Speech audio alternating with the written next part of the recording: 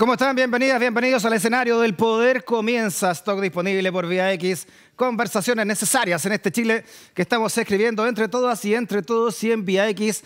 En tu propia vía se abre la comunidad del pensamiento desde Vía X para reflexionar hacia dónde va el rumbo que está tomando esta nación llamada Chile y por supuesto en ella la función del periodismo independiente es muy importante, por eso te invitamos a ser parte de la Pauta Stock.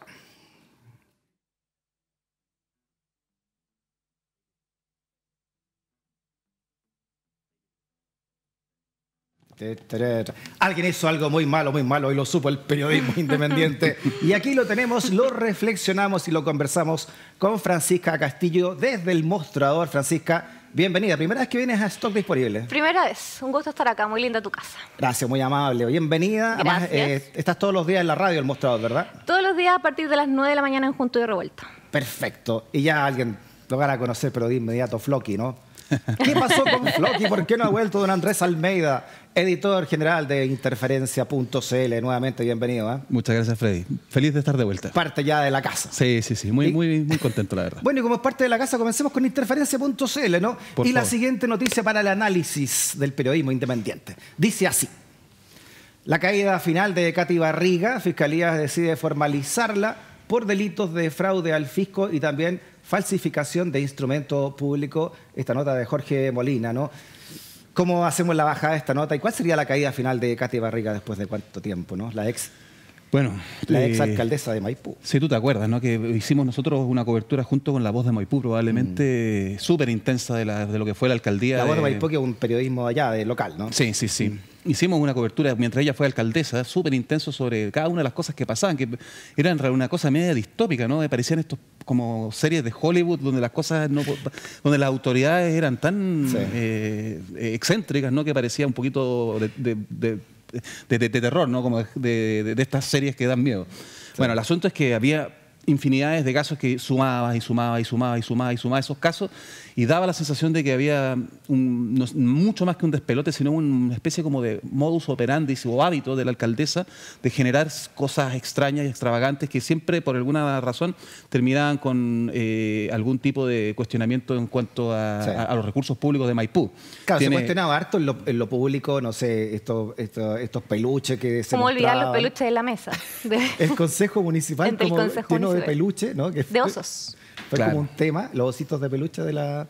Y además este, este matinal que hacía ella, eh, que lo conducía desde una, una torre de agua, ¿no? y donde le bajaba la presión a los vecinos, digamos. Entonces, para que no se metiera bulla dentro de la grabación del matinal. Y la gente no podía lavar los platos mientras ella grababa el matinal. Bueno, pero varias de estas excentricidades tenían... Ahí está el consejo que hablábamos con Francisca, mira. Eh, claro, esto es aparte de su... claro, son cosas que parecen sería, muy Sería divertido si no fuera porque habían también cuestionamientos del tema de los recursos públicos. Un par de cosas que ella hizo, varias, ¿no? Pero eh, de las que nosotros fuimos cubriendo, tenían que ver, por ejemplo, con una casa de chocolate, de jengibre, que, se hizo para una Navidad, contratada al hijo de la María Angélica Cristi, ¿te acuerdas de Paul mm. Morrison? Sí. Eh, y por 20 eh, millones de pesos. Lo conversamos en ese artículo, ¿te acuerdas sí, Sí, sí, Cuando, cuando, la casa no costaba, digamos, eh, una, de, una vivienda mínima costaba 20 millones, y esto, no, esto era mucho menos, y te costaba 20 millones, una proyección que también por 20 millones. Entonces empezaron a haber una serie de, pequeños cuestionamientos, o sea, de cuestionamientos no por tanta plata, pero que se fueron sumando. O, como por ejemplo cuando la alcaldesa también fue... Esto fue, disculpa, el 2019 de lo que estaba hablando, ¿no? Sí. Fue socio de Joaquín Lavín Jr., su marido. Que además era socio de Joaquín Lavín Jr., ¿no? Mm, claro. Había sido... Sí, ahí Paul Morrison dijo que él no era parte de la empresa, pero estaba en la última escritura. O sea, toda una cosa extraña, también con ciertas redes municipales un poquito raras, ¿no? Como empresas que daban boletas, que después aparecían haciendo ciertas bicicletas o asignaciones directas. O sea, una cosa muy rara y, suma y sigue. Ese yo creo que es el, principal problema que tiene hoy día Cati Barriga, es que sumaba y seguía, pero cada una de las cosas no era lo suficientemente escandaloso como para que cayera Contraloría, la Fiscalía. Bueno, pero ahora eh, la, Fiscalía decidió cambiar de, sede y lo llevó a la Fiscalía de Alta Complejidad. Y con, eso, ¿por qué? Porque ahí tú supones que hay un, esquema ¿no? de, defraudación, eh, porque, van, porque justamente como todo pasa bajo radar, entonces la Fiscalía está tratando de, mostrar, de, entender el gran cuadro. Ustedes en el mostrador también han tocado el tema, Francisca, que, que ¿Qué representa, crees tú, la- una figura, ¿no? como la de, la de Katy Barriga? en- O en sea, este yo creo que se enmarca, por supuesto, dentro de todos los casos relativos a la poca transparencia que existe en el sistema municipal en Chile. Mm. Yo creo que este es un caso más que sin duda eh, va a ser, bueno, se formaliza en enero, si no me equivoco, el 16 de enero, sí, sí. y a partir de eso yo creo que vamos a conocer más antecedentes respecto a finalmente si son constitutivos de delito o no todas estas excentricidades que eh, cuenta Andrés. Como se va embanado con lo que pasa en Las Condes, con lo que pasa en Viña del Mar. eh, eh, En Algarrobo, el último caso Bueno, el tronco torreal va ni a hablar, ¿no? que todavía no sabemos todavía qué pasa ahí, digamos, Claro. que- hacia dónde puede ir todavía. Claro, y, y lo que hemos apuntado siempre en el mostrador, por lo menos a través de, eh, de, de las notas o de, de la cobertura de este, de, este, de este tipo de casos, es que los grados de transparencia a nivel municipal son muy precarios. Y ese es un foco que hoy día, dentro de todo este debate que hemos tenido a propósito del caso Fundaciones, eh, es importante no perderlo de vista. ¿no? ¿Qué pasa con las municipalidades? Sí, ¿Por qué sería la caída final? ¿Por qué, por qué ustedes apuestan a eso? eh? Suponemos nosotros que va, o sea, el, el día que nosotros sacamos la nota, el alcalde de Maipú, eh, eh, Bodanovich, él eh, hace la presentación, hace una presentación también el del conjunto de estos asuntos, porque el- el- finalmente el que le toca, digamos, la bomba explosiva en las manos al alcalde que, la- que la- que- que- que viene después, ¿no? Entonces. Eh, Pareciera que, pareciera que todos los antecedentes, Jorge Molina es un periodista de larga data en términos de tribunal, entonces pareciera que lo- lo- lo- lo- lo- los fiscales y los, y los abogados... Ahí está el alcalde eh, actual, ¿no? Sí. Bodanovich. Están logrando establecer el, el esquema, ¿no? Mm. El esquema, ento- entonces van a pedir el- el- las cautelares eh, y ya hay un levantamiento secreto bancario. Entonces pareciera que, que se va a poder, digamos, tejer toda esta red de, cosas, ¿no? Y son una infinidad. Otro, otro ejemplo que me recuerdo muy claro es, es cuando viajó a Mendoza con, con la compañía de ballet de la Cenicienta, que usó el auto fiscal también y, hu- y hubo Mm. unos viáticos, viajaron 16 funcionarios y el que tuvo menos viáticos eran 300 mil pesos. Según la nota serían eh, más de 31 mil millones de pesos, eh, más o menos el monto defraudado, ¿no? Claro, O claro. potencialmente defraudado. Claro, ese es el número que se, se maneja entre los, entre los muchos casos que están, algunos eh, que se han conocido más, menos en la opinión pública, pero eso es lo que te decía, ¿no? Es, un- es un- es una cosa de, de suma. de- Ya. Ahora, lo otro interesante que probablemente va a ir arrojando todo el proceso investigativo y una de las cuestiones que pasó ahora último fue que la Fiscalía fue hasta la municipalidad para poder eh, pesquisar el tema de los correos y resulta que los correos fueron borrados. Qué raro. Claro. Sí. Claro. Entonces ahí también probablemente el proceso de investigación va a seguir arrojando antecedentes. Claro, fueron, fueron borrados, se pidieron eh, en, en estos correos como prueba de, de lo que habían sido, ¿no? Y, Claro. Es una- un modo superante bastante, bastante ya conocido, ¿no? O se pierden los computadores, Los o- computadores. O, se, o se borran las casillas, como dice la tercera, ¿no? El día en que los correos de Katy Barriga fueron eliminados en la alcaldía de Maipú, dice que a los días de transparentarse la causa desde la Fiscalía Occidente a la Oriente, por orden del fiscal nacional Ángel Valencia, para agilizar la investigación, la persecutora de alta complejidad Constanza Encina acudió a incautar los correos históricos que estaban en el municipio que hoy es liderado por Tomás Bodanovich de RD y para su sorpresa, los respaldos de los emails de la alcaldesa, de la ex alcaldesa, estaban borrados, con todo el Ministerio Público pudo hacerse de las comunicaciones a través de otro funcionario que había hecho un respaldo anterior, dice, ¿no? Claro, había un- por suerte para la investigación había un, estaba este respaldo, ¿no? Ahora, ¿esto cómo puede pegar, eh, cómo le pega al Audi esto, no? Bueno, además de lo que puede, puede pasar con, con Reginato eh, y otras alcaldías, ¿no? O sea, Dentro de lo que se habla del caso convenio, caso fundaciones, en fin, ¿no? Lavín. Joaquín Lavín ha tenido harto, eh, padre, ¿no? Ha tenido harto cuidado de no involucrarse, de no aparecer físicamente siquiera, ¿no? Eh, involu- involucrado con la UDI, los medios de comunicación han hecho también un trabajo ahí de no, de no hacer el link, o sea, de no, de no estar constantemente haciendo el vínculo de decir que Katy Barriga en realidad es la nuera de, de- de Joaquín Lavín. Y yo creo que han hecho una especie como de cordón sanitario en torno al caso. Y, y han dejado un poquito a Joaquín Lavín Jr., que es el esposo de- y diputado ¿no? de, de- de ella, un poquito como colgando por el lado. Pero yo creo que es una operación comunicacional interesante, pero, Claro. pero me, me imagino si hubiese sido del otro lado, cómo hubiese sido, digamos. O sea, evidentemente hubiese afectado al partido. Yo creo que, eh, ahora, de todas maneras, creo que los casos de, de corrupción van, van sumando y yo creo que a, a ojos de la opinión pública se va generando una, la idea de que, lo que tú muy bien decías, ¿no? de que la corrupción a nivel comunal y a nivel local Claro. está desbordada y que no existen las herramientas. Claro, porque eh, también podría pegarle a Anila Peñalosa en Las Condes, que fue la delfina de, de Joaquín Lavín, y Joaquín Lavín la presentó como su sucesora, ¿no? Cuando hizo campaña para que ella llegara a la alcaldía, ¿no? Y hay redes de funcionarios medios también que hacen acuerdos con empresas, siempre por debajo del radar. O sea, hay todo un esquema que Mm. de larga data, ¿no? O sea, y con, con la basura, con un montón de, de temas municipales. Las, municipales. las municipalidades manejan montos grandes de dinero, pero que suelen pasar debajo del radar de la Contraloría, porque la Contraloría está pensada para el Estado central, como tú muy, muy bien decías, Claro. ¿no? O sea, Lo conversamos con eh, Jorge Bermúdez en su ocasión, con el Contralor, y decía que estas corporaciones eran una, una cortina ¿no? para que la Contraloría realmente pudiera entrar, porque son corporaciones privadas. Aunque usan dineros públicos, tienen esta, esta eh, eh, no sé, el figura legal de lo privado, ¿no? Sí, bueno, y, y dentro de todos estos casos que han ido apareciendo, a propósito de la pregunta que hace, es que, bueno, ¿qué dice la UDI? Hemos visto en general un repliegue de los partidos políticos cuando aparecen lo- los datos relacionados a municipalidades de cierto alcalde. Por ejemplo, lo vimos con, con el tema de Algarrobo. No vemos en primera línea a los partidos eh, ni defendiendo ni eh, condenando estos ataques, sino que hay un Claro. repliegue, más bien porque comunicacionalmente es estratégico ahí desmarcarse de, de lo que está pasando particularmente con el tema de las municipalidades, que como sabemos que los organismos de transparencia o la fiscalización es precaria, eh, puede ser un- una caja de Pandoras también. A diferencia de lo que pasa con otros alcaldes de otros, eh, de otros partidos, ¿no? A la Iracy Hasler le dicen que es comunista cada tres minutos, digamos. O sea, también hay una diferencia también Claro. en el trato, ¿no? Yo creo Y que lo que pasó con la clínica de, de Hasler versus lo que pasó con el, con el CESFAM de Las Condes, ¿no? Cómo se trató también uno y otro. se- ese cordón sanitario, ¿no? Comunicacional, que es un cordón, un cordón comunicacional y político. Muy bien, vámonos con una nota que trae el mostrador, Vamos. que es la siguiente. Dice, ojo con el patrimonio, operaciones de Hermosilla y Villalobos en Factop suman casi 13 mil millones de pesos en una contabilidad paralela que llevaba Factop, a lo que accedió el mostrador. Aparecen más de 400 operaciones ligadas a Luis Hermosilla por más de 7.800 millones de pesos. Las relacionadas con, Mario, con María Leonarda Villalobos y su esposo Luis Angulo superan los 5.000 millones de pesos. Nota que trae sobre este tema también que encierra muchas cosas del Chile, del Chile de hoy. Sí, Francisca. mira, esta es una arista más de las muchas aristas que existen del caso audio, del caso Hermosilla. Esa fue la primera nota de tres notas que hemos sacado hasta ahora relativa a, un- a esta arista en particular que tiene que ver con la contabilidad informal o este registro interno de facto, que es el factoring propiedad de, los- de los hermanos Sauer. Y en este registro, en esta planilla informal oculta que había, lo que se mostraba es, bueno, las facturas que ingresaban, los montos asociados, las fechas de inicio, las fechas Ya. de vencimiento y los nombres ¿no? de, de quienes emitían estas facturas.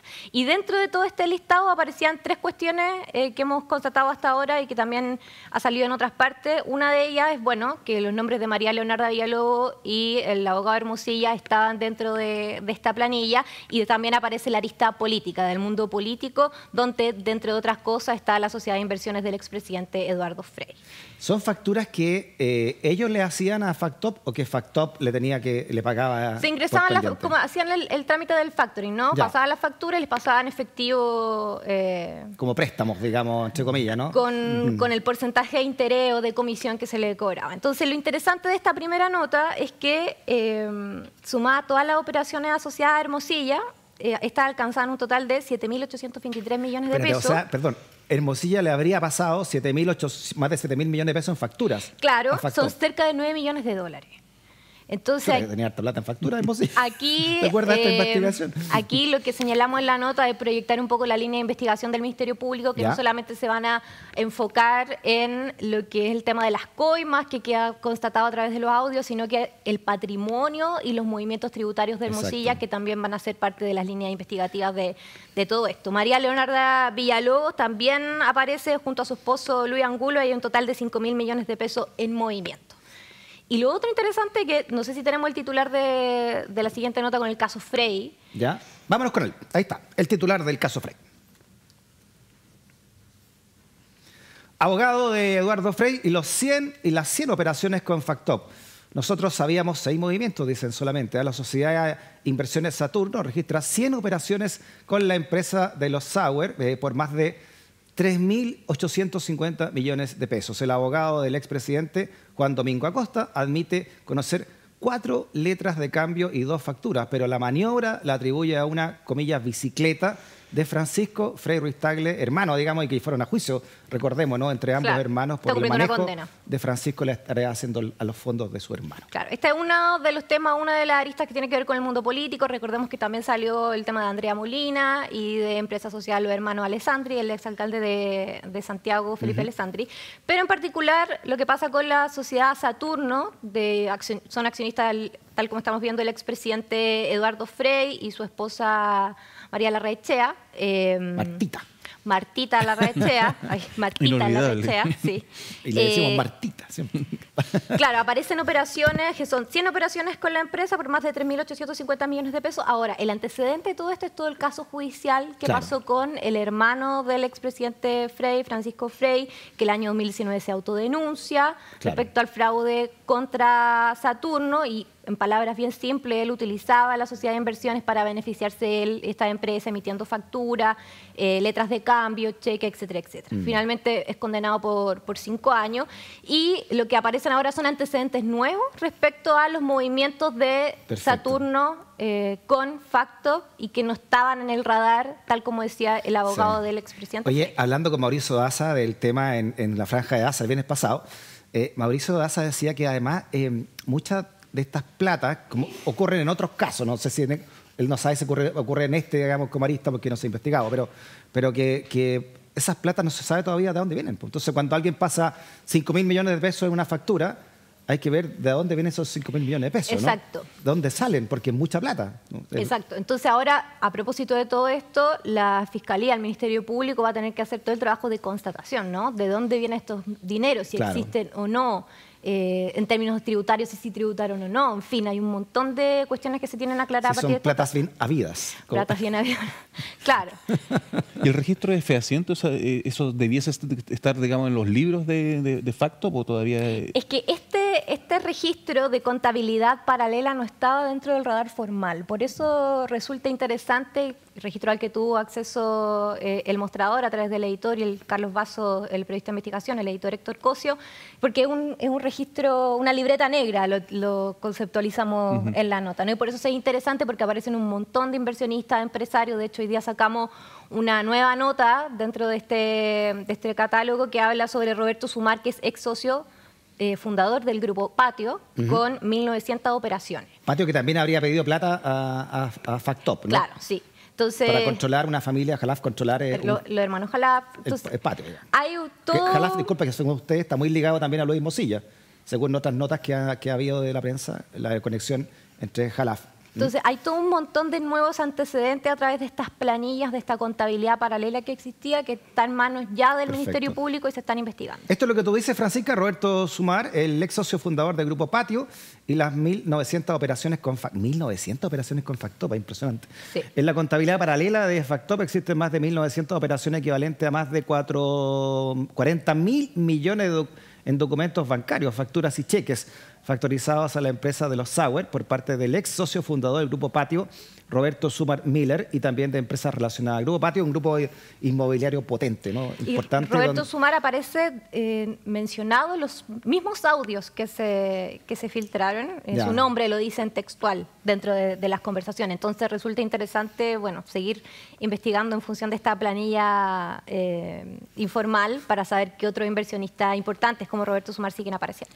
Yo creo que Claro. otra, otra, otra, otra impacto importante del, del- del hallazgo del mostrador va a tener que ver con lo que tenga o no tenga la CMF, porque una de las acusaciones importantes que hay en torno a, a- a la capacidad que tú tienes para corromper el Servicio de Impuesto Interno, la CMF, Claro. la CMF debiera tener una, una contabilidad legal. Del, de- estos son, digamos, está- eh, son, es una industria regulada, entonces debi- toda esa contabilidad debería estar en la CMF. ¿Qué es lo que tiene la CMF y qué es lo que tiene esta planilla? Exacto.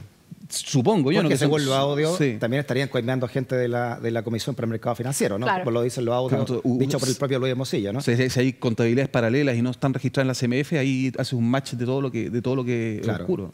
Ahora, lamentablemente, como pasó con los mails de Gata y Barriga, aquí parece que todavía no se sabe si hay respaldo. Se borraron videos de, de la oficina de, De la oficina de Luis Mosilla. Mosilla, pero también del Servicio de Impuestos Internos. Claro. Si y, te ahí, quieres- y ahí entra, según otras notas también de prensa que ha habido al respecto. quiero El- lo más. El que- borro de video. que- quememos las ofi- las oficinas, digamos. o sea.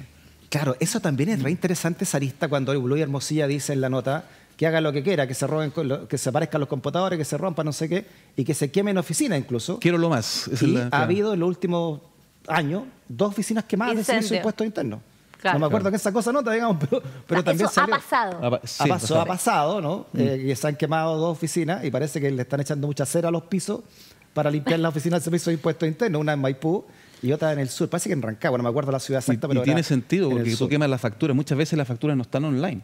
Entonces tiene una, una serie de documentación en papel todavía Claro. que, que- que hace, que hace que cobre sentido una, quemar una oficina de un de impuesto interno Lo para que pasa es que se queman oficinas, también se queman los computadores, ¿no? Y discos duros, en fin. Claro. Más allá de que puedan o no estar en online muchas de estas cosas. Claro. Bueno, vamos a ver también qué pasa con las querellas, ¿no? El Consejo de Defensa del Estado se querelló ya, el Servicio de Impuestos Internos también está querellado, así que investigación en curso. Aquí, a ro- a propósito de la caja negra que hablaba Luis Hermosilla, aquí se puede abrir una caja negra de Pandora, en este caso, bastante importante, ¿ah? con, con muchas aristas de hacia dónde va tan- tantos miles de millones de pesos, Vamos para allá, para Claro. allá y para acá, ¿no? Claro.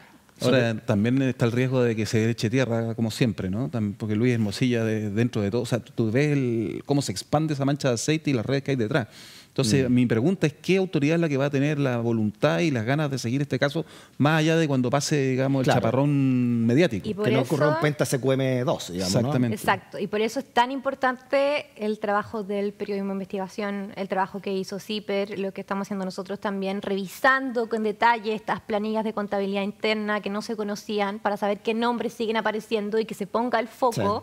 eh, y presiones también para el Ministerio Público, presiones para la Fiscalía para que la investigación avance. Sí, y eh, sobre todo de tomar la, la corrupción como, una, como un problema de Estado. Y no que se ocupe de un sector para culpar al otro cuando todos tienen tejado de vidrio o los que más tienen tejado de vidrio son los que más acusan en este momento también respecto de, muchos de muchos temas.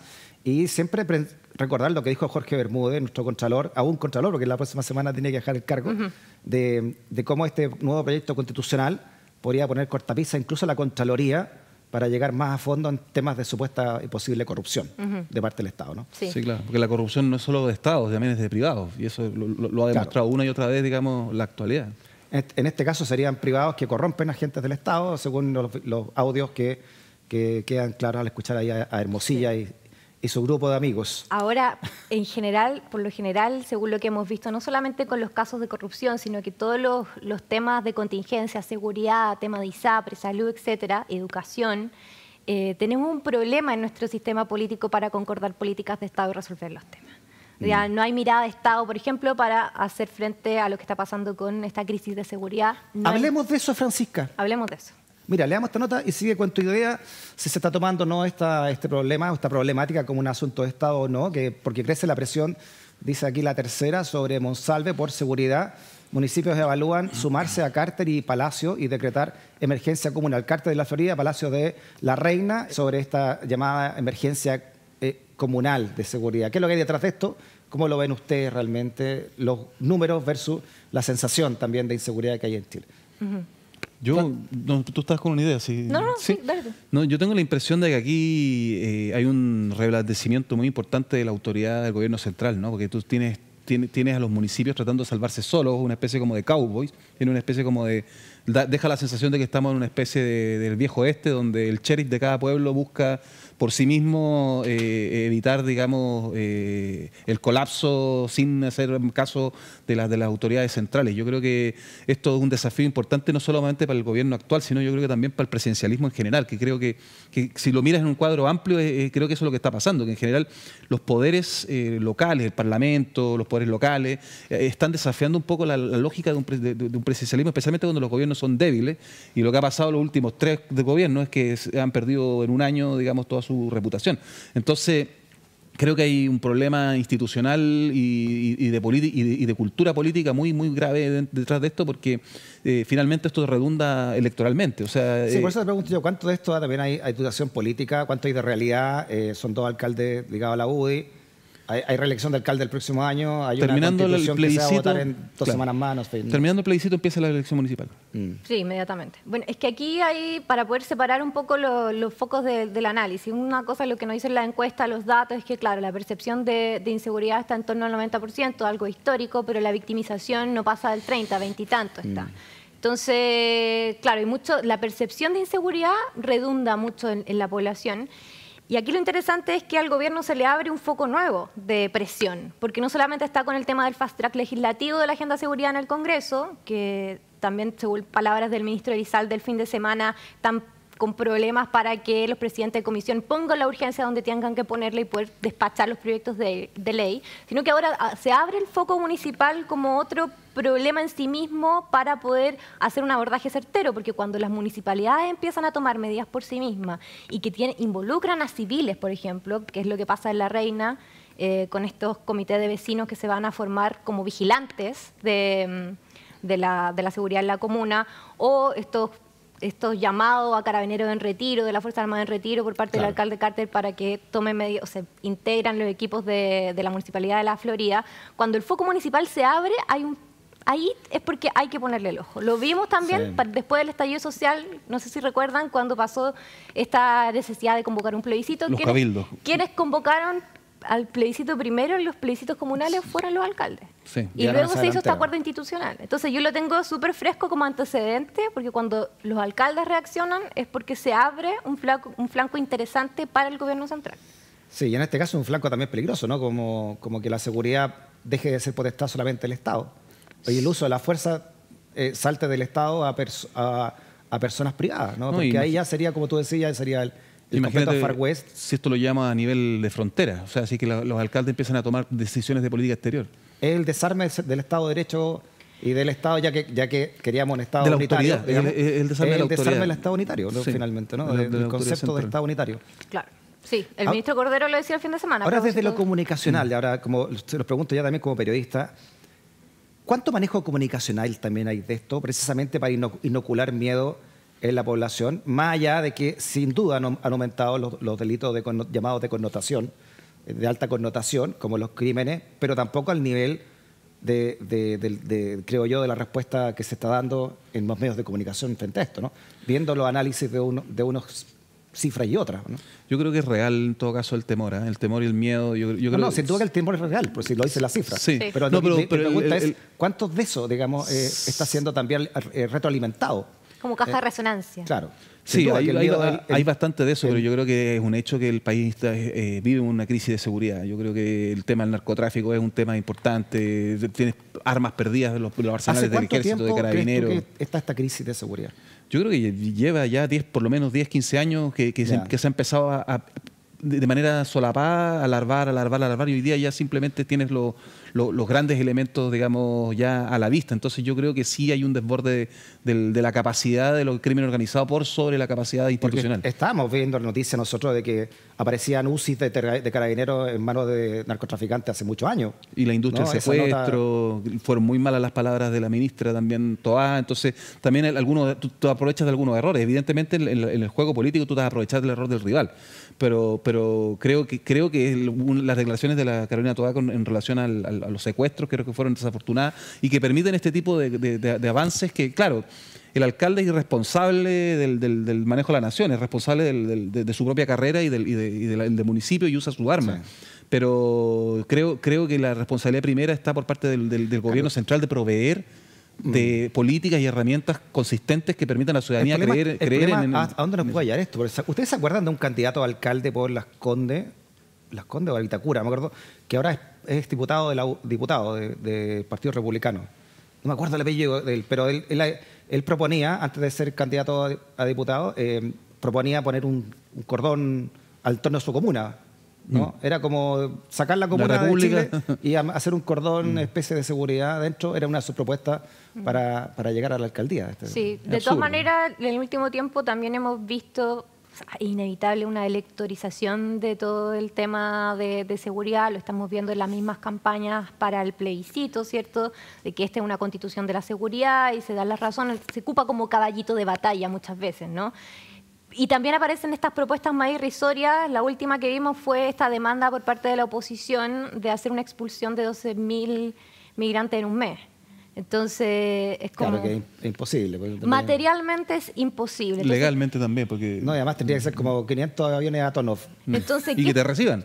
Claro. Y, que te reciban. y ahí lo delicado es lo que se proyecta hacia la ciudadanía entre lo que verdaderamente se puede manejar y hacer con políticas de Estado responsable y estas otras propuestas de populismo penal, podríamos decir, que buscan sin duda una adhesión más electoral.